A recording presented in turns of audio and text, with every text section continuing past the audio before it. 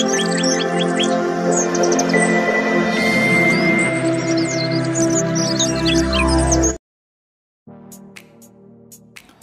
ஹே guys எல்லாருக்கும் வணக்கம். Welcome back to Tamil and poultry farm so இன்றைக்கி வந்து பார்த்தீங்கன்னா நம்மளுடைய ஃபார்ம் லாக் தான் வந்து பார்க்க போகிறோம் ஸோ நம்மளுடைய பவுல்ட்ரி ஷெட் கன்ஸ்ட்ரக்ஷன் ஒர்க்கை தொடர்ந்து ஸோ இதுக்கு ஃபென்ஸ் பண்ணுறதுக்கு சுற்றி வந்து பார்த்தீங்கன்னா நம்ம கம்பல்சரி ஏதாச்சும் ஒரு மெட்டீரியல் வச்சு ஃபென்ஸ் பண்ணி ஆகணும். ஃபென்சிங் ஆர் ஏதோ ஒரு வலை இதை வச்சு வந்து பார்த்தீங்கன்னா நம்ம கவர் பண்ணி ஆகணும். அப்படின்னா தான் வந்து பார்த்தீங்கன்னா கோழிகள் வந்து ப்ரொடெக்ஷனாக இருக்கும்.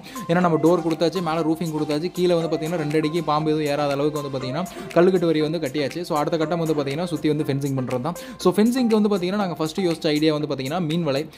நம்ம ரீசெண்ட் ஒரு ரீசெண்டானு சொல்ல முடியாது. ஒரு ஒன் இயர் பிஃபோர் வந்து கடலூரில் ஒருத்தட்ட வந்து பார்த்தீங்கன்னா ஒரு ஆட் எடுத்திருப்போம். ஸோ அவர் வந்து பார்த்தீங்கன்னா மீன் வலை மட்டும் தான் சேல் பண்ணுறாரு அது நிறைய கோழி பணியாளர்களுக்கு வந்து யூஸ்ஃபுல்லாக இருந்துச்சு. ஸோ நம்ம சேனல் அப்லோட் வீடியோ இருக்கும். செக் பண்ணி பாருங்கள் ஸோ அவர்கிட்ட தான் வந்து பார்த்தீங்கன்னா டூ தௌசண்ட்க்கு இந்த வலை வந்து பார்த்தீங்கன்னா நான் பர்ச்சேஸ் பண்ணியிருந்தேன். ஸோ அப்போ பர்ச்சேஸ் பண்ணது இப்போ யூஸ் ஆகும் அப்படின்ற மாதிரி எடுத்து கட்டி பார்க்கலாம்னு சொல்லிட்டு கட்டி பார்த்தேன். ஸோ கட்டி பார்த்தப்ப ஃபினிஷிங்கும் சரி அந்த டெம்பரும் சரி சூப்பராகவே எனக்கு கிடைச்சது. குவாலிட்டியும் வந்து பார்த்தீங்கன்னா பக்காவாக இருந்துச்சு.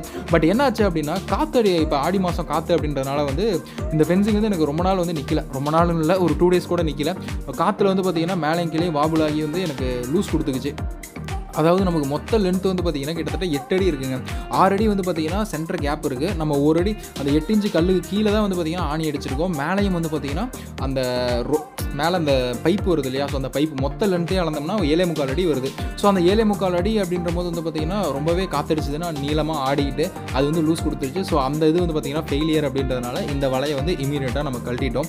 ஸோ இமீடியட்டாக கழட்டிட்டு அடுத்த கட்டம் வந்து நம்ம கம்பல்சரி சுற்றி ஃபென்சிங் பண்ணி அதுக்கு வந்து பார்ட்டிஷன் ரூமை தடுத்து அதாவது பட்டாசுகள்லாம் ஒரு இதில் இருக்க மாதிரி சிக்ஸ்லாம் ஒரு இதில் இருக்க மாதிரி மேய்ச்சல் முடிச்சு வந்து ஒரு இடத்துல அடையிற மாதிரி வந்து கம்பல்சரி செட் பண்ணி கொடுத்தால் மட்டுமே கோழிகள் வந்து பர்ஃபெக்டாக இருக்கும். இல்லை அப்படின்னா அது பாட்டுக்கு அங்கங்கே கன்ஃபியூஷன் ஆகி எங்கே முட்டையிடுறதுன்னு கூட தெரியாமல் பருவத்தில் இருக்கக்கூடிய கோழிகள் வந்து பார்த்திங்கன்னா அங்கேயும் இங்கேயும் வந்து பார்த்திங்கன்னா முட்டையிட்டு இருந்துச்சு அதே மாதிரி தான் வந்து பார்த்திங்கன்னா அன்னைக்கு ஒரு நாள் சாயங்காலம் தோட்டத்துக்கு தண்ணி பாய்ச்சலாம் அப்படின்னு சொல்லிட்டு மோட்டர் போட்டு தென்னை மரத்தில் போயிட்டு ஓசை மாற்றி போட்டுட்டு இருக்கும்போது தான் கவனித்தேன் ஒரு தென்னை மரத்துக்கு அடியில் வந்து பார்த்திங்கன்னா ஒரு முட்டை கோழி முட்டை இருந்துச்சு. ஸோ அதை பார்க்கும்போது தான் தெரிஞ்சு ஸோ கோழிகள் வந்து பார்த்திங்கன்னா தடுமாறிட்டு இருக்கு. ஸோ நம்ம வீட்டிலனா வந்து பழக்கப்படுத்தி வச்சுருந்தோம். எங்கே போய் மேயணும் எங்கே வந்து முட்டையிடணும் அப்படின்றது. பட் ஆனால் இங்கேயா இருக்கவும் வந்து அதுக்கு தெரியல எங்கே போய் முட்டையிடணும் அப்படின்றது. ஸோ அதனால் இமீடியட்டாக வந்து கம்பல்சரி வந்து இதுக்கு ஃபென்சிங் எடுத்து சுற்றி அடைச்சிட்டு அடுத்த கட்டம் வந்து இதுக்கு பார்ட்டிஷன் தடுத்து முட்டையிடுற மாதிரியான ஒரு ஸ்பேஸை அரேஞ்ச் பண்ணி கொடுத்து கோழிகளை பழக்கணும் அப்படின்ட்டு முடிவு பண்ணேன். ஸோ அதனால் உடனே வந்து பார்த்தீங்கன்னா இமீடியட்டாக ஒரு ஃபென்சிங் வழக்கடைக்கு போயிட்டேங்க. ஸோ வழக்கடையில் வந்து பார்த்தீங்கன்னா நிறைய வலைகள் இருக்குது ஸோ நம்ம கோழி வலை அப்படின்னு கேட்டாலே வந்து பார்த்தீங்கன்னா அது டைமண்ட் ஷேப் கட்டில் இருக்கக்கூடிய ஒரு மெலிசான ஒரு வலை காமிப்பாங்க.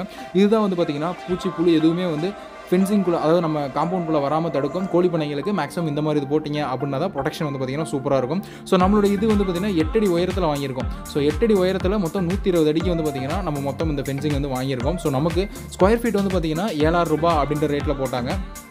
ஒரு ஒரு கடையில் ஒரு ஒரு மாதிரி போடுவாங்க. ஸோ உங்களுடைய லொக்கேஷனுக்கு தகுந்த மாதிரி நிறைய கடையில் விசாரிச்சு எடுத்துக்கோங்க. ஸோ நான் ஒரு கடையில் கேட்டப்போ பத்து ரூபா நாங்கள் இன்னொரு கடையில் கேட்டப்போ வந்து பார்த்தீங்கன்னா ஏழாயிரம் ரூபா நாங்கள் ஒரு கடையில் ஒம்பது ரூபா நாங்கள் ஸோ எங்கே கம்மியாக இருக்கோ அங்கே வந்து வாங்கிக்கலாம். ஸோ குவாலிட்டி வந்து பார்த்தீங்கன்னா நீங்கள் டேரெக்டாக வந்து யார் மேக் பண்ணுவாங்களோ அதாவது சில பேர் வந்து அவங்களே வந்து மேக் பண்ணுவாங்க ஓன் மேனுஃபேக்சரிங் அவங்ககிட்ட வந்து பார்த்தீங்கன்னா ஸ்கொயர் ஃபீட் கம்மியாக இருக்கும். அங்கே வந்து வாங்கிக்கோங்க. ஸோ நான் வந்து பார்த்தீங்கன்னா ஓன் மேனுஃபேக்சர்கிட்ட தான் வாங்கினேன். ஸோ எனக்கு ஸ்கொயர் ஃபீட் வந்து ஏழாயிரம் ரூபா போட்டாங்க. வாங்கி வைக்கிறவங்க வந்து பார்த்தீங்கன்னா அதே வலையை வந்து பார்த்தீங்கன்னா பத்து ரூபா அப்படின்ற மாதிரி சொன்னாங்க. ஸோ அதனால் வலை வாங்கும்போது வந்து பார்த்தீங்கன்னா கேர்ஃபுல்லாக வாங்க இது வந்து முதல் பாயிண்ட் ஸோ இந்த வலை வந்து பார்த்தீங்கன்னா நம்ம ஃபார்முக்கு பவுல்ட்ரி ஷெட்டுக்கு சுற்றி அடிக்கிறதுக்கோசரம் வந்து பார்த்தீங்கன்னா நம்ம ஃபஸ்ட்டு வாங்கியாச்சு. இதற்கான காஸ்ட் மட்டும் வந்து பார்த்தீங்கன்னா ஏழாயிரத்தி முந்நூறுரூவா வந்துச்சு. ஸோ நூற்றி இருபது அடி சுற்றி வந்து எட்டு அடி உயரத்தில் நூற்றி இருபது அடி நீளத்தில் வந்து பார்த்தீங்கன்னா இந்த வலை வாங்கினதுக்கு எனக்கான காஸ்ட் வந்து பார்த்தீங்கன்னா ஏழாயிரத்தி முந்நூறு. ஸோ இந்த வலையை வந்து பார்த்தீங்கன்னா இழுத்து நம்ம இப்போ முறையான ஆட்கள் வச்சு நம்ம கட்டணும் அப்படின்ற போது வந்து பார்த்தீங்கன்னா பர்ஃபெக்டாக டெம்பராக நின்றோம் அப்படின்ற ஒரு நம்பிக்கையில் எடுத்துகிட்டு வந்தாச்சு. ஸோ எடுத்துகிட்டு வந்த அடுத்த கட்டம் வந்து பார்த்தீங்கன்னா நம்ம கம்பல்சரி உள்ளே வந்து ரூம் பார்ட்டிஷன் வந்து தடுக்கணும். ஸோ அது எப்படி பண்ணுறேன் அப்படின்னு அப்படின்றதையும் இப்போ ஃபுல்லாக அந்த வலை கட்டினதுக்கப்புறம் அவுட்புட் எப்படி வந்திருக்கு அப்படின்றதையும் வந்து பார்த்திங்கன்னா அடுத்த வீடியோவில் நான் ஷேர் பண்ணிக்கிறேன். அண்ட் தென் வந்து இந்த வலை எடுக்கும்போதே இந்த வலைக்கு எப்படியும் ஆட்டோ ஃபேர் வந்து நம்ம கொடுத்துதாகணும் அப்படின்றதுனால நான் சில மரங்கள் வந்து கொஞ்சம் பெரிய மரங்களாக வாங்கி வச்சிடலாம். நம்ம ஷெட்டுக்கு முன்னாடி வீட்டுக்கு முன்னாடி அப்படின்ட்டு பிளான் பண்ணியிருந்தேன். ஸோ அதனால் கொஞ்சம் பெரிய பெரிய மரங்கள். ஸோ மகிழ மரம் வந்து பார்த்திங்கன்னா நான் பவுல்ட்ரி ஃபார்மை சுற்றி அழகாக வைக்கணும். அது நிழலும் தரும். அதே மாதிரியே மகிழம் பூ வந்து பார்த்திங்கன்னா கொஞ்சம் நல்லா போகும் அப்படின்றதுனால. ஸோ மகிழ மரம் வைக்கலாம் அப்படின்னு முடிவு பண்ணி ஒரு அஞ்சு பெரிய மகிழ மரம் வாங்கியிருந்தேன். அப்புறம் அந்த வீட்டுக்கு முன்னாடி அந்த ஒரு பந்து மாதிரி அதுக்கு பேர் பிளாக் சம்திங் வரும். ஸோ அந்த மரங்கள் வந்து பார்த்திங்கன்னா ஒரு ரெண்டு மரங்கள் அப்புறம் அழகு செடிகள் இதெல்லாம் வாங்கி வந்து பார்த்திங்கன்னா டோட்டலாகவே வந்து நான் ஒரு ஒரே ஆட்டோவில் வந்து லோட் பண்ணிக்கிட்டேன். எப்படியும் ஆட்டோ ஃபேர் கொடுக்குறது வலைக்கு கொடுக்குறதுன்னு முடிவாகி போச்சு. ஸோ அதனால் நம்ம மரங்களையும் எடுத்துகிட்டு போயிடலாம் அப்படின்றதுனால. ஸோ இந்த பெரிய மரங்களையும் வந்து நான் அதே ஆட்டோவில் வச்சு எடுத்துகிட்டு வந்துட்டேன். அண்ட் தென் வந்து பார்த்தீங்கன்னா ஒரு கேஜ் வந்து வாங்கியிருக்கேன். ஸோ இந்த கேஜ் எதுக்கோசரம் அப்படின்னா நம்ம காரில் வந்து கோழிகளை டிரான்ஸ்போர்ட் பண்ணும்போது நம்ம இரும்பு கேஜ் எடுத்து சீட்டில் வச்சோம்னா சீட் டேமேஜ் ஆயிரும். அட்டைப்பட்டி வச்சோம்னா அது வந்து ரீயூசபிள் கிடையாது அப்படின்றதுனால ஃபைபரில் ஒரு கேஜ் வாங்கியிருக்கேன். இந்த கேஜினுடைய காஸ்ட் வந்து பார்த்தீங்கன்னா தௌசண்ட் ஃபைவ் ஹண்ட்ரட் ருபீஸ் வந்துச்சுங்க எனக்கு. ஸோ இந்த கேஜ் இந்த ஃபென்சிங் அண்ட் தென் இந்த பெரிய மரங்கள் எல்லாத்தையுமே வந்து பார்த்தீங்கன்னா ஒரே ஆட்டோவில் வச்சு வந்து நான் என்னுடைய ஃபார்முக்கு வந்து எடுத்துகிட்டு வந்துட்டேன். ஸோ ஃபார்முக்கு வந்ததுக்கப்புறம் நெக்ஸ்ட் ஒர்க் என்ன அப்படின்னா கம்பல்சரி வந்து இது கொஞ்சம் பெரிய மரம் அப்படின்றதுனால குழி வந்து நம்ம கொஞ்சம் பெருசாக போட்டோம் அப்படின்ற போது வந்து டக்குன்னு இதாயிரும் அப்படின்றத ஜேசிபி வர சொல்லி குழி போட்டுடலாம் அப்படின்னு முடிவு பண்ணியாச்சு.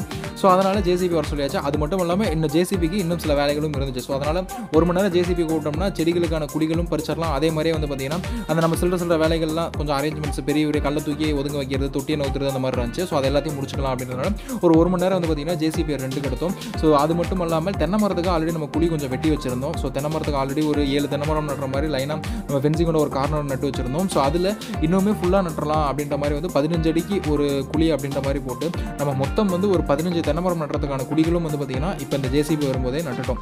ஸோ அண்டன் வந்து இன்னொரு முக்கியமான இன்னொரு வேலையும் இருந்துச்சு. நம்ம பவுல்ட்ரி ஃபார்ம் ஃபார்ம் ஹவுஸுக்கு முன்னாடி நம்மளுடைய ஃபார்ம் ஹவுஸுக்கு முன்னாடி நம்ம கேரளா ரூஃப் போட்டிருந்தோம் இல்லையா? ஸோ அந்த கேரளா ரூஃபு கீழே தளம் போடுறதுக்கு வந்து மண் அடிக்கிற மாதிரியான ஒரு சுச்சுவேஷன் இருந்துச்சு. ஸோ அந்த ஒர்க்கையும் வந்து பார்த்திங்கன்னா ஜேசிபி வச்சு மண்ணு குட்டி அதையும் வந்து கொஞ்சம் முடிச்சாச்சு. ஸோ ஜேசிபி இல்லை அப்படின்னா எந்த ஒர்க்குமே கிடையாது. ஃபார்ம் ஒரு ஃபார்ம் ஆரம்பிக்கிறீங்க அப்படின்னும் போது ஏன்னா நிறைய அடிக்கடி வந்து பார்த்திங்கன்னா மெட்டீரியல்ஸ் நவுத்துறதுக்கு மண் அடிக்கிறதுக்கு க்ளீன் பண்ணுறதுக்கு அப்படின்ற மாதிரி ஜேசிபிஸ் வந்து ஓடிக்கிட்டே தான் இருக்கும். ஸோ ஒன் ஹவர் வந்து பார்த்திங்கன்னா இப்போ நம்ம ரெண்டுக்கு எடுத்து எல்லா மரங்களும் நடுறதுக்கான குழிகள் போட்டாச்சு. ஸோ ஷெட்டுக்கு முன்னாடி லைனாக வந்து பார்த்திங்கன்னா அந்த மகிழ மரத்துக்குலாம் ஒரு பன்னெண்டு அடி பதின பன்னெண்டு அடி பதிமூணு அடி அப்படின்ற மாதிரி ஸ்பேஸ் விட்டு வந்து பார்த்திங்கன்னா கேப் விட்ருக்கேன் குழி ஒன்று ஒன்று போட்டிருக்கேன். தென்னை மரத்துக்கு வந்து பார்த்திங்கன்னா பதினஞ்சு அடிக்கு ஒரு குழி அப்படின்ற மாதிரி போட்டிருக்கேன். ஸோ அந்த வீட்டுக்கு முன்னாடி வந்து பார்த்திங்கன்னா ரெண்டு குழி போட்டிருக்கேன். அது வந்து அழகு மரங்கள் நடுறதுக்கோசரம் வீட்டுக்கு முன்னாடி அந்த ரெண்டு குழி அப்படின்ற மாதிரி போட்டிருக்கேங்க. ஸோ ஆல்ரெடி வந்து நம்ம ஃபார்முக்கு முன்னாடி பாதானிக்கா மரம் ரெண்டு நட்டு வச்சுருக்கோம். பட் ஆனால் அது நடக்கூடாது அப்படின்ற மாதிரி சில பேர் சொல்கிறாங்க ஸோ அதுக்கான ஸ்டடீஸ் போயிட்டுருக்கு அது என்னங்கிறத அடுத்த வீடியோவில் சொல்கிறேன் பட் ஆனால் மகிழ மரம் வந்து நடலாம் அதில் எந்த பிரச்சனையும் கிடையாது. ஸோ மகிழ மரத்துக்கு அஞ்சு குழி போட்டு வச்சுருக்கோம். ஸோ பாதானிக்கா முன்னாடி இருக்கக்கூடாது அப்படின்ற மாதிரி ஒரு சில பேர் சொல்கிறாங்க ஸோ அதை என்னென்னு ஸ்டடி பண்ணிவிட்டு அடுத்த கட்டம் அது வந்து பார்த்திங்கன்னா பாதானிக்காவை சைடில் ஷிஃப்ட் பண்ணிடலாமா அப்படின்ற மாதிரி ஒரு ஆசிலேஷன் மைண்ட் இருக்குது ஸோ இந்த வீடியோ பார்க்குறவங்களுக்கு ஸோ பாதானிக்கா ஃபார்ம் முன்னாடி வீட்டு முன்னாடி இருக்கலாமா இருக்கக்கூடாதா அப்படின்ற உங்களுடைய கணிப்பை சொல்லுங்கள் அதே மாதிரி இன்னும் சில மரங்கள் சப்போட்டா மலைநெல்லிக்காய் இதெல்லாம் வந்து பார்த்திங்கன்னா வாங்கி வச்சுருக்கேன். அதனுடைய plantation and then poultry shed எப்படி அவுட்புட் வந்திருக்கு அப்படின்றத அடுத்த வீடியோவில் சந்திக்கிறேன். நன்றி டாடா